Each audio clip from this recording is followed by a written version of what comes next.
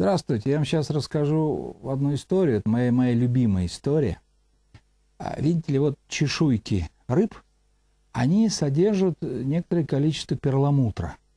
Перламутр – это то, чем а, раковинки э, выстилаются, выстилаются изнутри их моллюсками, обитателями раковин.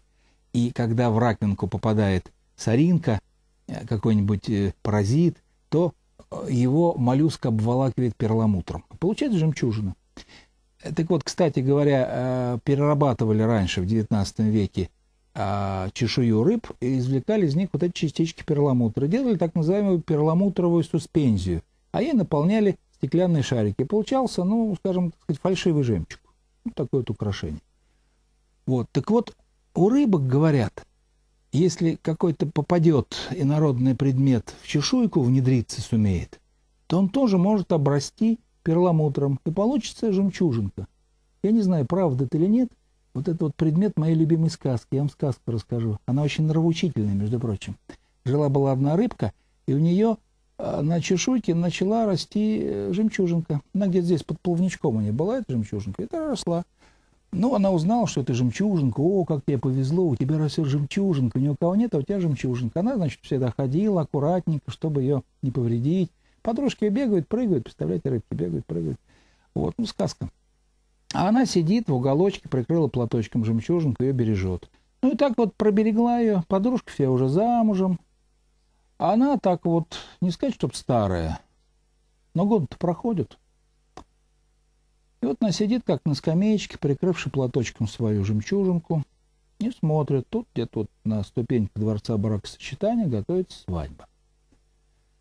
Такая противная-противная медуза, но богатая. Выходит замуж за дельфина, такой красавец, черный, такой блестящий, как калоша, такой упругий, вот прям вот, кажется, укусишь, и он прямо заскрипит, как калоша, вот такой приятный очень. Она подходит к нему и говорит, вот, что Ну, он понятно, что он из-за денег-то женится на этой медузе. Подходит к нему рыбка, подплывает, конечно, и говорит, ну, слушайте, зачем вы женитесь на медузе? Женитесь лучше на мне.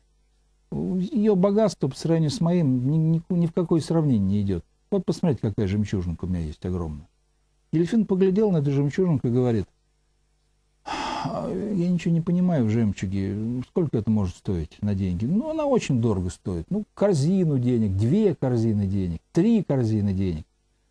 Ну, дельфин говорит, я думаю, что четыре корзины денег меня устроило. Вот есть у вас два часа, если за два часа сумеете продать вашу жемчужинку за четыре корзины денег, пожалуйста, я на вас женюсь. Мне все равно, собственно говоря.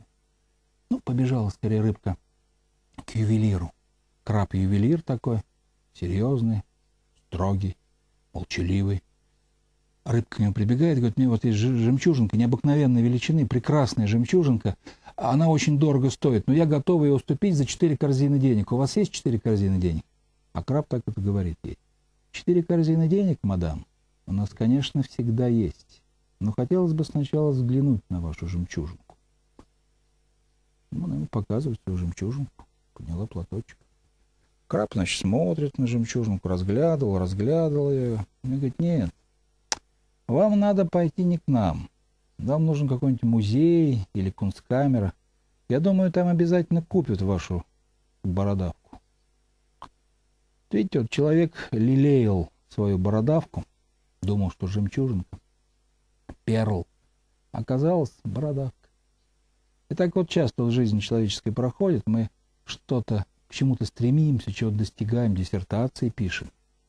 А про самое главное, необходимое забываем. Забываем, что нужно прежде всего, как сказать, продолжить себя, продлить свой род, передать воспитанию детей, посвятить себя. А мы так вот застреваем в этом детстве. И в конце концов, эта наша игрушечка оказывается не перлом, а бородавкой. Понимаете как? Ну, сказка хорошая, мне нравится. Всех благ.